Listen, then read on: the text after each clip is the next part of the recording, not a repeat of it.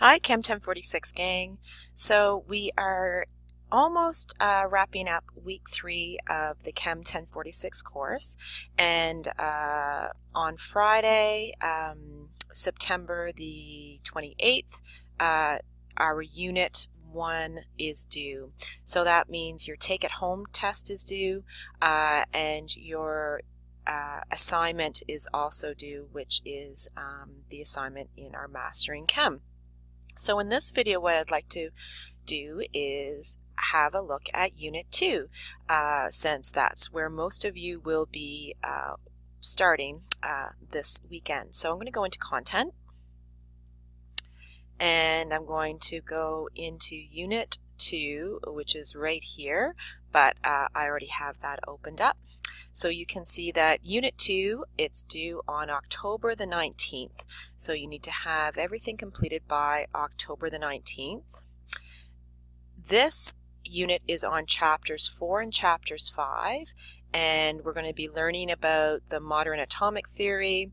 We're also going to be learning how to uh, write formulas for compounds and also how to name compounds.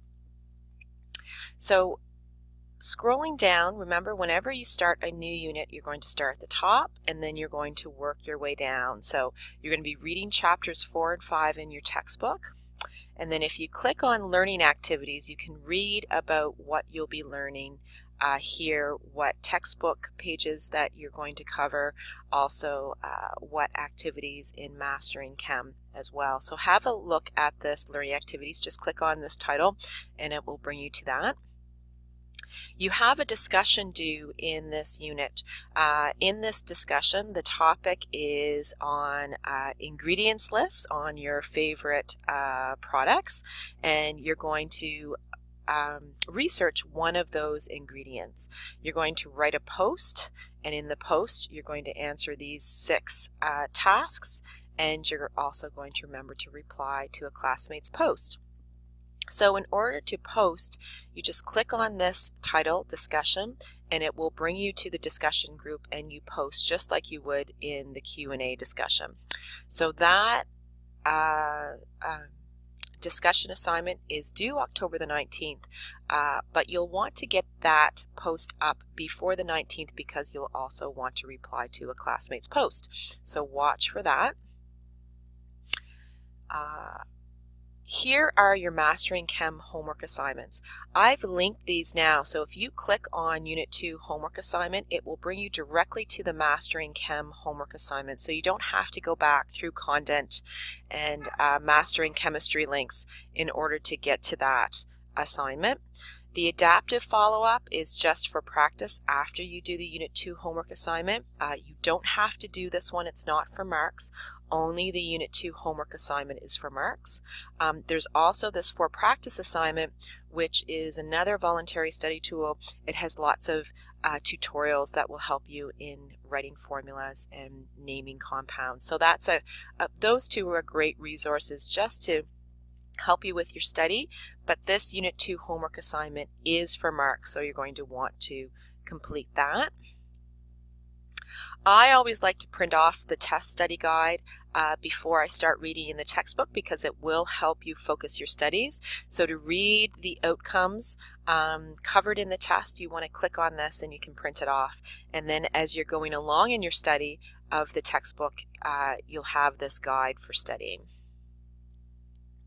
This unit, there is a proctored unit test, which means that you have to go to a campus testing center and write the test on campus. So don't, uh, if you clicked on this now, um, you wouldn't be able to get into it because it needs a password uh, that the proctors have.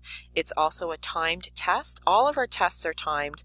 Uh, the Unit 1 test didn't have a timer, so uh, that was kind of a bonus, but now all the tests have been timed to have been set to 120 minutes, which is two hours. You won't need the full two hours, but you're welcome to use it all to review.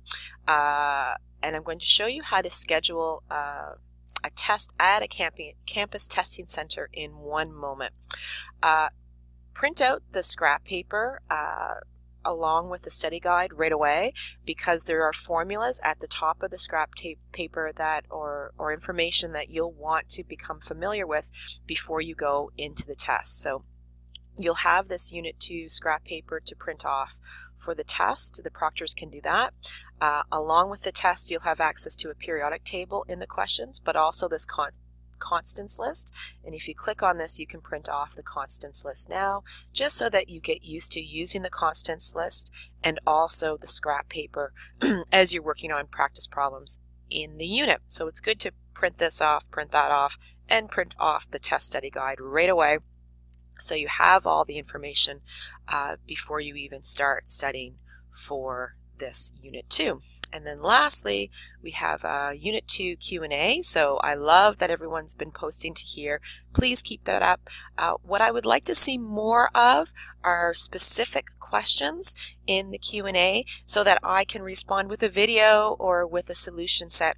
Um, I find that's really helpful. So don't uh, instead of emailing me your questions post to the q&a because that helps all of us. We're a really large group which means that there should be lots of questions that i can respond to in the q&a um, and it just makes the the course a little bit more fun and definitely more informative.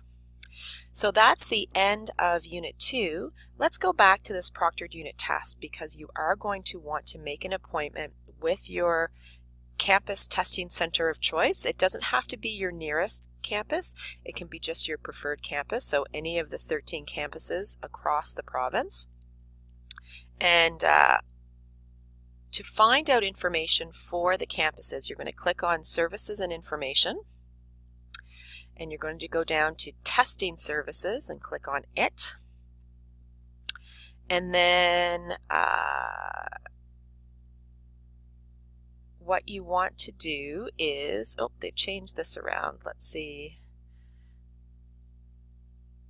Testing centers, there we go, hours and locations. So you're going to click on that and then you can see all of the testing centers in the province, including their testing hours. So you're going to choose a campus with the testing hours, um, and then you're going to submit a testing request form. So once you find the campus that you want to uh, write your test at, you're going to click on the testing request form and you're going to request um, the test and the campus site. Um, and there you go. So that's how you book a uh, test. If you'd like to call a testing center to ask for more information, definitely you can do that using the testing center hours and locations. There are no fees for um, our online tests uh, for the School of Access, so you don't have to worry about paying anything extra. That's only if you were doing uh, an outside external test and needed proctoring. So if you have any questions about the unit or about proctor tests, uh, please let me know. Reach out in the Q&A or if it's of a more personal nature, definitely email, phone, or text me. And I hope everyone has a great Friday getting Unit 1 down and uh, all the best as you start Unit 2. Bye for now.